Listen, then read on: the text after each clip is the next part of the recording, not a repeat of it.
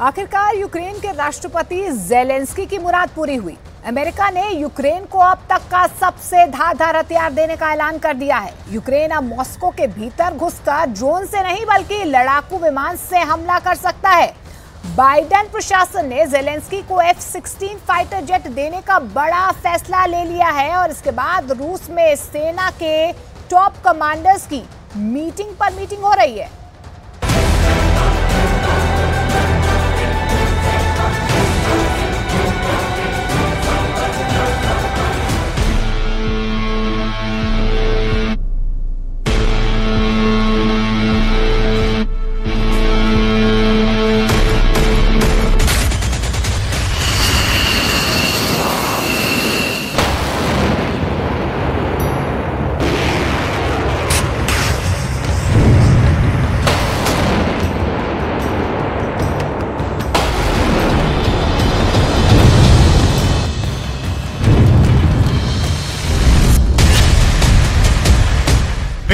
मांगे मिला परमाणु बम।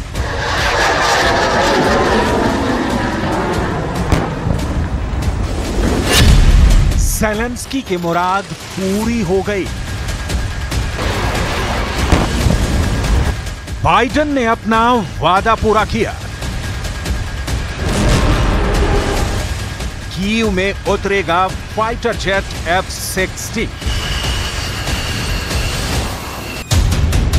रूस की नाटो को धमकी।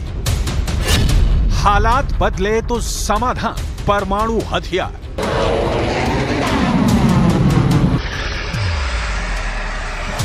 महायुद्ध के माथे पर क्या एटम बम वाले कलंक का टीका लगा है?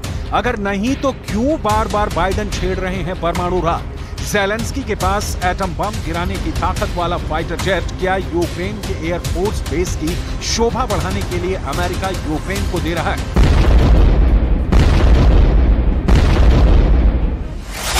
बिल्कुल नहीं। तो अब इंतज़ार कीजिए उस घड़ी का जब अमेरिका का पावरफुल लड़ाकू विमान एफ़ सिक्सटीन रूस की चौहत्ती को चीरते हुए मॉस्को में दाखिल होगा। एफ़ सिक्सटीन अगर होगा जेलेंस्की के पास तो फिर वो क्यों करें ड्रोन पर विचार?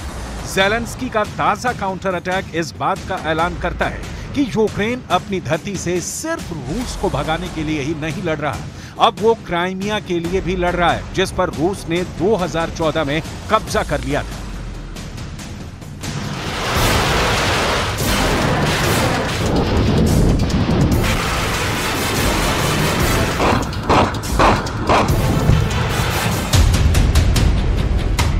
फाइटर जेट एफ़ सिक्सटीन देने का अमेरिकी प्रशासन ने ऐलान कर दिया है। ये एफ़ सिक्सटीन डेनमार्क और नीदरलैंड्स की ओर से यूक्रेन को भेजे जाएँगे। अमेरिका कुल कितने F sixteen fighter jet Ukraine को देगा? इसकी संख्या साफ़ नहीं है।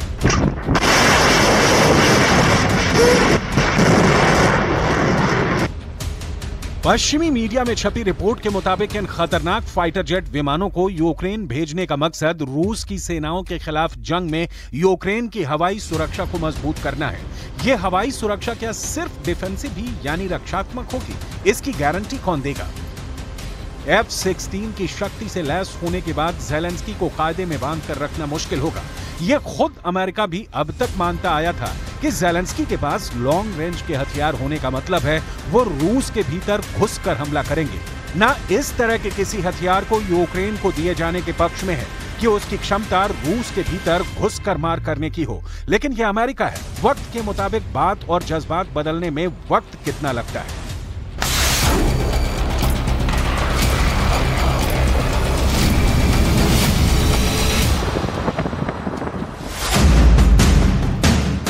अमेरिका अब जेलेंस्की को F-16 जैसे फाइटर जेट देने जा रहा है। F-16 को स्क्रीन पर आपने भी कई बार ज़रूर देखा होगा, लेकिन आज एफ़ सिक्सटीन की ताकत की बात नहीं। इसकी कमज़ोरी भी करेंगे, क्योंकि रूस के पास अगर इसका काट काटना हुआ तो युद्ध हफ़्ते 10 दिन की बात है। एफ़ सिक्सटीन यूक्रेन में लैंड होते ही सबसे पहले क्या होगा, इसे स्क्रीन पर समझिए। यूक्रेन में एयरफोर्स बेस पर F-16 लैंड करता है। उसे ऑर्डर होता है कि हमले के लिए मॉस्को कूच करना है। कीव से मॉस्को की हवाई दूरी आठ किलोमीटर है। प्राइवेट जेट F-16 की स्पीड है 2000 किलोमीटर प्रति घंटा। तो मॉस्को पहुँचने में इसे वक्त लगेगा आधे घंटे से भी कम। मतलब 29 मिनट में बारूद बिछाने का प्लान तैयार हो जाएगा जेलेंस्की के पास। देखते ही देखते मॉस्को तबाह।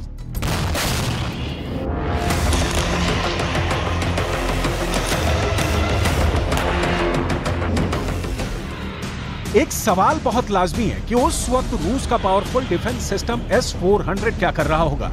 तो इसके लिए आपको एफ़ सिक्सटीन की ताकत की थोड़ी और डिटेल देखनी होगी। F sixteen single engine supersonic multi role fighter aircraft है। इसका इस्तेमाल अमेरिका की एयरफोर्स करती है। उन्नीस से तैनाती के बाद एफ़ सिक्सटीन चार एयरक्राफ्ट अमेरिका तैयार कर चुका है। करीब 25 देशों में अमेरिका ये विमान बेच चुका है।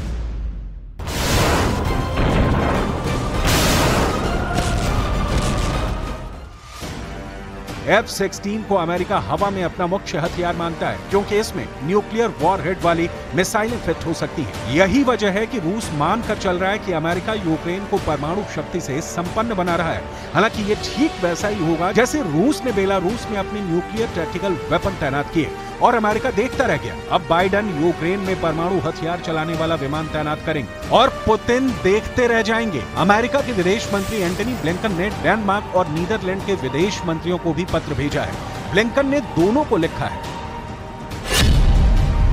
मैं यूक्रेन को एफ़ सिक्सटीन लड़ाकू विमानों को देने और योग्य एफ़ सिक्सटीन प्रशिक्षकों से यूक्रेनी पायलटों के प्रशिक्षण के लिए अमेरिका का पूरा समर्थन जताने के लिए ये खत लिख रहा हूँ। यह महत्वपूर्ण है कि यूक्रेन इस समय अपनी संप्रभुता पर चल रहे रूस के हमले के खिलाफ खुद का बचाव करने में सक्षम। है डेनमार्क, नीदरलैंड्स, दोनों नेटो के सदस्य हैं। इन दोनों देशों में अमेरिका ने पहले से परमाणु बम वाली मिसाइलें तैनात कर रखी हैं। इन मिसाइलों का मुँह मॉस्को की ओर ही है। पुतिन, डेनमार्क, नीदरलैंड्स, दोनों पर हमले करने की धमकी देते रहते हैं। लेकिन नाटो की ताकत पर इतराने वाले इन दोनों देशों की सेहत पर कोई असर नहीं होता। डेनमार्क और नीदरलैंड से एफ़ सिक्सटीन लड़ाकू विमानों की यूक्रेन को सप्लाई के पीछे दोनों देशों की कीव से बहुत कम दूरी है। इसे मैप पर समझिए। डेनमार्क से एफ़ सिक्सटीन उड़ान भरता है तो उसे यूक्रेन पहुँचने के लिए जर्मनी के बर्लिन का रूट लेना होगा। जर्मनी भी नाटो का सदस्य है। इसके आगे पोलैंड है और पोलैंड से सटा यूक्रेन है। मतलब पूरे इलाके पर अमेरिका के सहयोगियों का ही डंका है। अब एफ़ सिक्सटीन के नीदरलैंड वाले रूट को समझिए, जिसका रास्ता भी बर्लिन से होकर गुजरता है। इसके बाद पोलैंड की सीमा आती है और फिर यूक्रेन में लैंड जेलेंस्की कई महीनों से रट लगाए हुए हैं कि उन्हें लड़ाकू विमान चाहिए, वो विमान जो मॉस्को को करारा जवाब दे सके। लेकिन बाइडन प्रशासन इसमें हील हवाला करता रहा। अमेरिका की कूटनीति के मुताबिक वो रूस से सीधा युद्ध से बचने की नीति को फॉलो करते हैं। सवाल फिर एफ़ सिक्सटीन अमेरिका के देने के बावजूद। रूस से अमेरिका की सीधी टक्कर नहीं होगी? इस सवाल का जवाब एफ़ सिक्सटीन यूक्रेन आने और उसके इस्तेमाल के बाद ही पता चलेगा। उसके पहले एफ़ सिक्सटीन को लेकर रूस में हो रही मीटिंग पर मीटिंग की डिटेल देख लीजिए। रूस के विदेश मंत्री सरगेई लावरो ने कहा कि,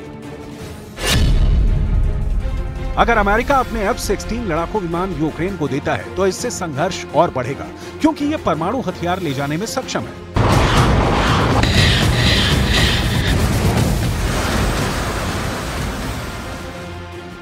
एटम बम की धमकी की शुरुआत रूस ने ही की है। पुतिन के बेहद करीबी और पूर्व राष्ट्रपति दिमित्री मेदवेदेव तो कई बार ये कह चुके हैं कि हालात रूस के हाथ से निकलने की सूरत में उनके पास परमाणु बम गिराने का विकल्प खुला है। पुतिन कई बार कह चुके हैं कि नाटो की दखल अंदाजी के चलते ही युद्ध लंबा खींच रहा है। लिहाजा अब पुतिन क्या करेंगे? जब जेलेंस्की के पास परमाणु बम वाली मिसाइल होगी, दुनिया के सबसे बेहतरीन एयरक्राफ्ट में से एक होगा एफ़ सिक्सटीन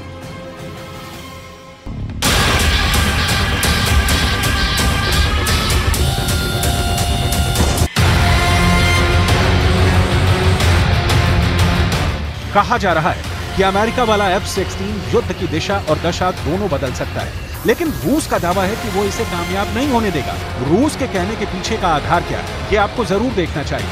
रूस ने दावा किया कि उसने लैपट टैंकों को तबाह किया है चैलेंजर टैंकों को बर्बाद किया है और एफ़ सिक्सटीन को भी नहीं छोड़ेंगे। अब जरा अमेरिका के एफ़ सिक्सटीन और रूस के सू फिफ्टी के बीच की तुलना देखिए कि कौन कितना शक्तिशाली है।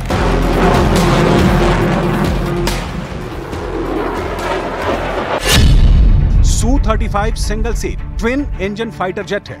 एफ़ 16 सिंगल इंजन विमान है. सू 35 लड़ाकू विमान सुपरसोनिक स्पीड से लंबी दूरी तक उड़ान भरने में सक्षम है। एफ़ 16 भी सुपरसोनिक स्पीड से उड़ान भरता है। सू 35 एक चौथी जनरेशन का विमान है, जो पांचवी पीढ़ी की लड़ाकू तकनीक का इस्तेमाल करता है। एफ़ 16 भी चौथी पीढ़ी का विमान है, जिसमें मॉडर्न तकनीक लगी है। Su 35 advance electronic warfare system से भी लैस है। एफ़ 16 के पास भी इलेक्ट्रॉनिक वॉरफेयर की जानकारी होती है।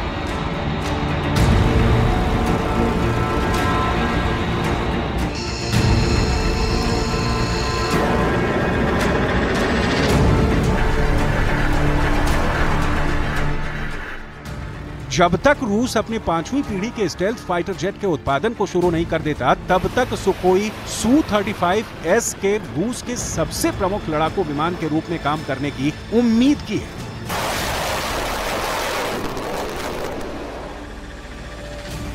रूस का सू 35 भले ही एक स्टेल्थ फाइटर जेट नहीं है, लेकिन इसने रूस को फिर से एक आधुनिक एयरफोर्स की महाशक्ति बनाने में मदद की है। ये F-22 और F-35 जैसे पांचवी पीढ़ी के स्टेल्थ फाइटर के साथ कितने प्रभावी ढंग से मुकाबला कर सकता है, ये फ़िलहाल अभी साबित नहीं हो सका है।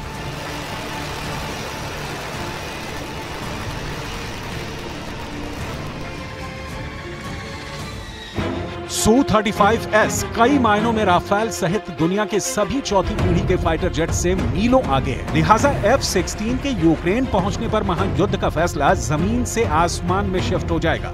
एफ़ सिक्सटीन की ताकत कितनी है? इसकी दुनिया दीवानी है। तुर्की के राष्ट्रपति ने जब अमेरिका से एफ़ सिक्सटीन मांगा तो बाइडन ने जवाब दिया कि राष्ट्रपति अर्दवान खामोश हो गए। ये दिलचस्प किस्सा आपको भी जानना चाहिए। तुर्की ने एफ़ सिक्सटीन के लिए कहा। बाइडेन ने कहा, स्वीडन को नेटो सदस्य बनने की राह में रोड़ा बनना छोड़ दे तुर्की। मतलब मैसेज लाउड एंड क्लियर कि अमेरिका अपनी शर्तों पर ही किसी देश को एफ़ सिक्सटीन विमानों की सप्लाई करता है।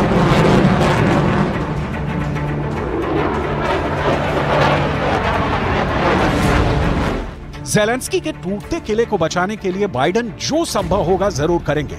और इसका नतीजा होगा कि पुतिन और गुस्सा होंगे।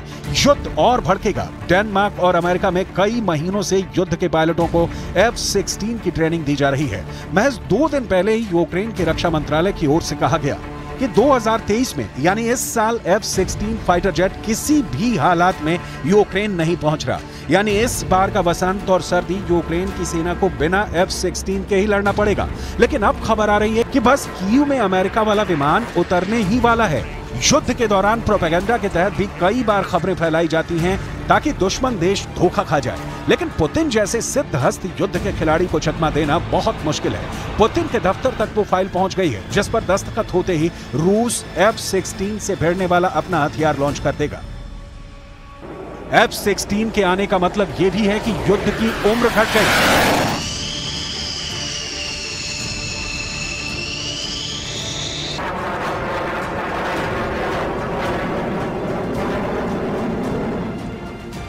रूस और नाटो के सीधी टक्कर का एक ना एक दिन होना तय दिख रहा है, लेकिन ये टक्कर कब होगी? या दोनों वक्त रहते टक्कर को टाल देंगे? ये कह पाना मुश्किल है, क्योंकि इस टक्कर में परमाणु बम ज़रूर फटने वाले हैं।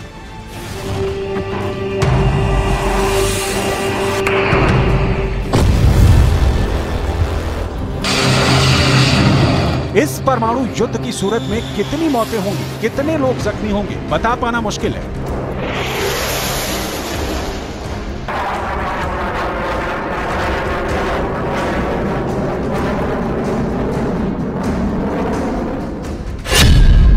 न्यूयॉर्क टाइम्स की एक रिपोर्ट के मुताबिक 24 फरवरी 2022 से लेकर अब तक युद्ध में मौत और जख्मी लोगों की संख्या है पाँच लाख। रिपोर्ट के मुताबिक रूस की एक लाख बीस हज़ार की सेना मारी गई। एक लाख सत्तर हज़ार की सेना बुरी तरह जख्मी हुई है। यूक्रेन की अब तक सत्तर हज़ार सेना मारी गई है। एक लाख से एक लाख बीस हज़ार की संख्या के बीच जवान जख्मी हुए हैं।